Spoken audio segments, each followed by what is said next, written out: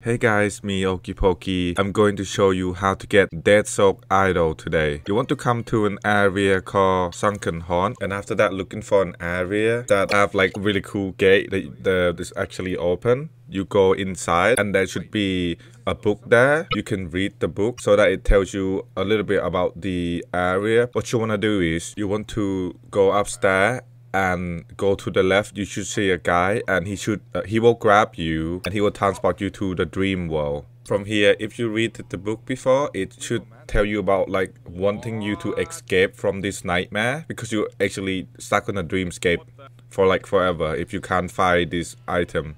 So right now for me the way it's spawned is upstairs. So if you go upstairs there should be three rooms. There should be two rooms on the right and one room to the left.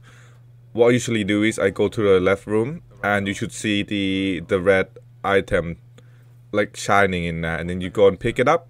You should receive strange talisman.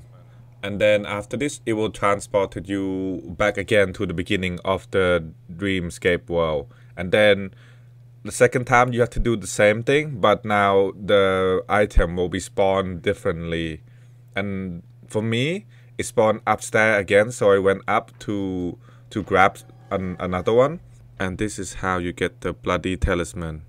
After that you're gonna want to look for the third room. The secret to looking for the third room or all the other room is that you want to look through the the, the people on the, on the top of the door to see you, you change your camera angle to see if you see the red light. Because if you see the red light that means that is the right room where you can find the item.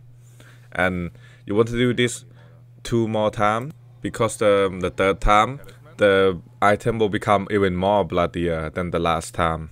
And after you found that third room the fourth room will be the last room.